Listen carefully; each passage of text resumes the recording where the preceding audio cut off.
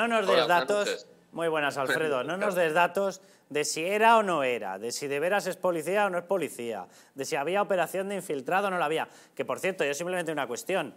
Para que haya una operación de infiltrado, ¿qué garantías hay en España? Porque, evidentemente, tiene que haber indicios muy sólidos de que hay un comportamiento delincuencial. Si no, no se infiltra una persona en España. Correcto, va a empezar por, el final, que es lo que tú acabas de decir. El, artículo 282 bis de la Ley de Enjuiciamiento Criminal reconoce eh, lo que es el agente encubierto, ¿vale? que es para trabajar en organizaciones, criminales en los cuales no se consiguen avances eh, de, forma normal, para que todo el mundo lo sepa. Tendrá otro DNI, eh, tendrá, son seis meses prorrogables, siempre y cuando su señoría, el juez bajo el cual está trabajando, vea avances en las investigaciones y puede ser, como tú dices, con tráfico de personas, eh, tráfico de seres humanos, tráfico de armas, terrorismo, crimen organizado, es decir, es una, es una, una, figura reconocida en nuestra legislación española y que, por tanto, estaría respaldada o, evidentemente, eh, judicializada y tendría conocimiento eh, su señoría de lo que estaba haciendo este hombre durante estos dos años. Efectivamente, Alfredo, es decir, la tiene que haber autorizado un juez. Correcto. Es decir, pero, a ver, Carlos, pero autoriza al juez el trabajo policial de investigación, no todo lo demás que estás contando. no, no, no, está claro. Y voy a adelantarme ahí también a lo, que, a lo que estás comentando, porque fíjate tú que nadie ha salido ni de la Dirección de la Policía ni del Ministerio del Interior a eh, explicar, a dar explicaciones, a decirnos qué pasó sobre esto.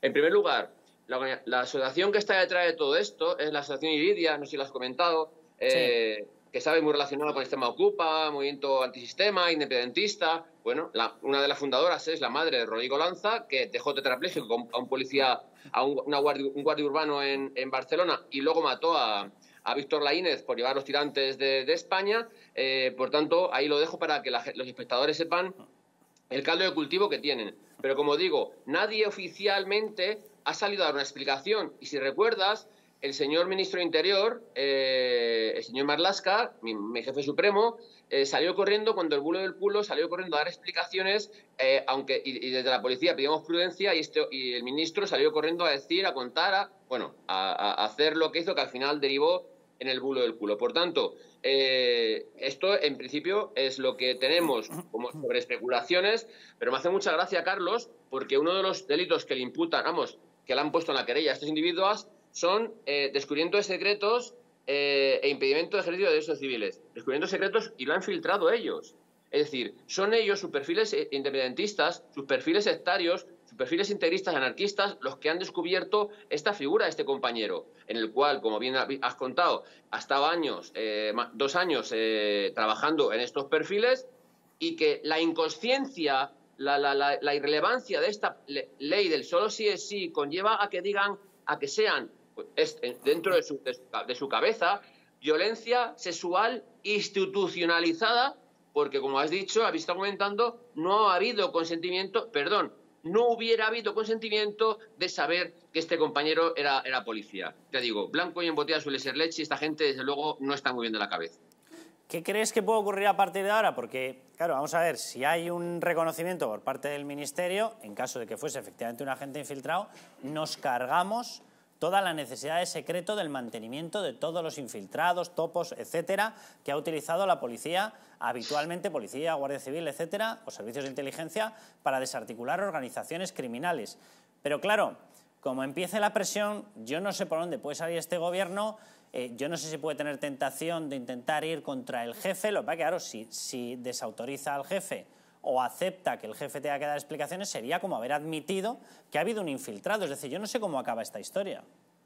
Es que por eso digo, Carlos, que hay otra figura, tenemos en, policía, en Guardia Civil y Policía Nacional, que son fuentes abiertas, son compañeros que trabajan sistemáticamente en asambleas, en tabernas, en talleres, es decir, que recaban información de lo que se cuenta en esos sitios, que por ahí también puede ir, el, tiro, y, esa, información la pueden tener inteligencia para luego poder eh, eh, trabajar contra ello y comunicar al juez lo que fuere. Es decir, que las dos cosas son legales, las dos cosas son posibles, pero como tú dices, si descubrimos eh, que quieren que vaya, que el compañero que está trabajando en ello o los compañeros que están ahora mismo trabajando en ello como agente encubierto tienen que ir comunicando o tienen un cartel poniendo que están trabajando contra el independentismo, contra el tráfico de armas o contra el terrorismo, te digo que es una inconsciencia. Pero ya digo, las dos figuras son, son posibles, Carlos. Es decir, el agente encubierto, que es lo que llama infiltrado, y las fuentes abiertas, que es con las que trabajan muchos policías, muchos compañeros día tras día.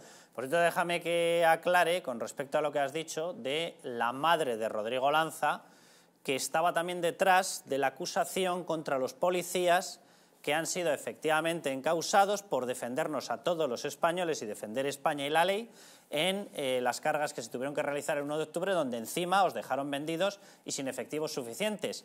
Y esa misma eh, asociación ha recibido dinero de forma sistemática de una persona llamada Ada Colau. Algunas de las subvenciones han superado los 100.000 euros y que yo tenga constancia hay 12 o 13 subvenciones concedidas.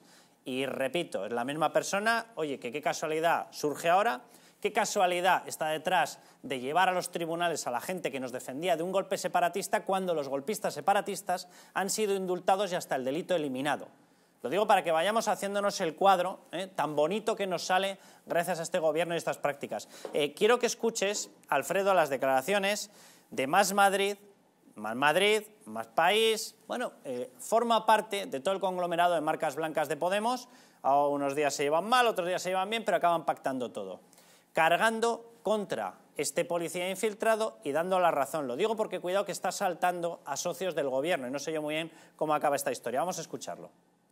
Hoy quiero denunciar desde esta Cámara lo que ha sucedido en Cataluña, donde ocho mujeres activistas de los movimientos sociales han sido manipuladas, engañadas y han sufrido abusos de poder por sus relaciones sexoafectivas por un policía infiltrado. Ninguna de estas mujeres consintió que tener una relación sexual con un policía que se había infiltrado para obtener información. Eh, ¿Tú crees que estas presiones pueden eh, llegar a provocar algo en Grande Marlasca? ¿Puede llegar a eh, dulcificar la política de infiltrados, parar determinadas infiltraciones, sacarlos, incluso desvelarlo? Pero es que, Carlos, las unidades de, de, policía judicial, que son evidentemente los compañeros que están como agentes encubiertos, están bajo una auspicio de un juez. Aquí el ministro no pinta nada. Es decir, la, la, unidad, por ejemplo, de policía, eh, la unidad central de policía judicial, la Comisión General de Policía Judicial, comunica a su señoría una operación específica contra lo que he dicho, contra tráfico de armas o cualquier otra cosa, o terrorismo. Eh, se le comunica a esta figura y eh, su señoría lo autoriza o no en virtud de la investigación que hay. Y te, he dicho, se prorroga cada seis meses en virtud de la información que va dando este compañero. Por tanto, el ministro del Interior ahí no tiene que pintar nada, ni debe pintar nada. Es decir, vamos a dejar de politizar las investigaciones policiales, que si no, entonces nos cargamos eh, eh, el, el, tenderete, Carlos, ¿vale? Eso en primer lugar. En segundo, yo creo que eh, es tan irrelevante esta gente, es tan, tan inconsistente y evidentemente ponen a las mujeres de tontas o de gilipollas, con perdón de la palabra, porque las mujeres se han acostado con él porque les ha dado la gana. Es decir, que nadie les ha puesto una pistola en la cabeza para acostarse con él y que ahora, meses después, digan que son perjudicadas por la ley de solos y de sí porque nunca darían consentimiento, yo creo que tenemos que hacer un chiste de ello, Carlos, tenemos que reírnos todo de ellos y que le den morcillas a esta gente porque es lo que se merece. No, se merece ni el más mínimo comentario, ni el más mínimo respaldo social. Lo diga más Madrid, más país, más, más el Susun Corda. Me es indiferente. Yo tengo, estoy muy convencido de ello. De hecho, si ves, la gente racional lo que está pidiendo es una medalla para este compañero. Han hecho una, una, petición en, en, una de esta de Chanso RG o algo así para que le den una medalla al compañero eh, para, como reconocimiento al Ministerio del Interior. Por eso yo creo que el Ministro del Interior debe ser escéptico. Yo creo que, aunque sean socios del Gobierno, el Gobierno no debe meterse en esto, porque si, como tú bien dices, si se mete en esto, la estamos eh, jorobando y que simplemente dejen fluir, dejen trabajar. Y una vez más te digo, Carlos, agradecerte que nos dejen trabajar en lo que sabemos y hacemos día tras día, porque si no, no sé en qué estaríamos. Alfredo, un abrazo fuerte y muchas gracias. De vuelta, muchas gracias. Buenas noches.